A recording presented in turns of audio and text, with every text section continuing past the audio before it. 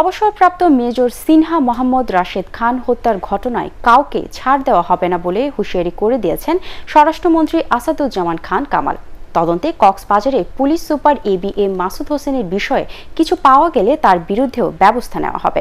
এদিকে আওয়ামী লীগ সাধারণ সম্পাদক ওবায়দুল কাদের বলেছেন, সিনহা হত্যার ঘটনাকে ইস্যু করে কেউ কেউ সরকার হটানোর স্বপ্ন দেখলেও তা সফল হবে না।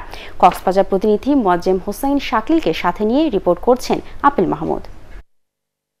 কক্সবাজার টেকনাফ মেরিন ড্রাইভের শামলাপুর চেকপোস্টে কেন পুলিশ সাবেক সেনা কর্মকর্তা সিনহা মোহাম্মদ রাশেদ খানকে গুলি করল, তার উত্তর খুঁজছে আইনশৃঙ্খলা বাহিনী।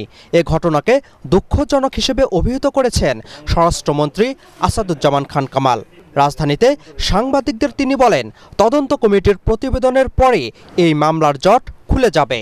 আমরা মনে করছি একটা সুষ্ঠু তদন্ত রিপোর্ট এই তদন্ত কমিটি আমাদেরকে উপহার দিবেন। আমরা সেই অনুযায়ী কাজ করব। তদন্তর আগে কিছু বলা যাবে না। এগুলো ধরেন কে আছে, না আছে, এগুলো তদন্ত রিপোর্ট আসুক। এসপির নাম আসলে আমরা দেখব। এ ঘটনায় কেউ কেউ সেনাবাহিনী ও পুলিশের মধ্যে উস্কানের অপচেষ্টা চালাচ্ছেন বলে অভিযোগ করেছেন সড়ক পরিবহন ও সেতুমন্ত্রী ওবায়দুল কাদের।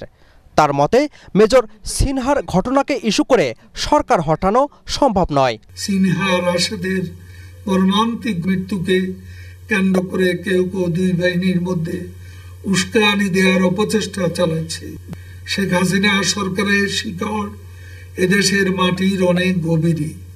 গুজব রটিয়ে অপপ্রচার চালিয়ে কোনো লাভ হবে না। এদিকে কক্সবাজারের টেকনাফ থানার সাবেক ভারপ্রাপ্ত কর্মকর্তা প্রদীপ কুমার দাস সহ সিনহা হত্যা মামলার আসামিদের জেল কেটে জিজ্ঞাসাবাদের প্রক্রিয়া শুরু হয়েছে।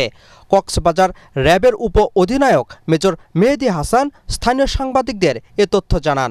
গত একত্রিশ জুলাই রাতে শামলাপুর চেকপোস্টে নিহত হন সিনহা রাশেদ। এ ঘটনায় বুধবার কক্সবাজার সিনিয়র জুডিশিয়াল ম্যাজিস্ট্রেট আদালতে মামলা করেন তার বড় বোন শারমিন শাহরিয়া ফেরদৌস। আপেল মাহমুদ এটিএন বাংলা ঢাকা।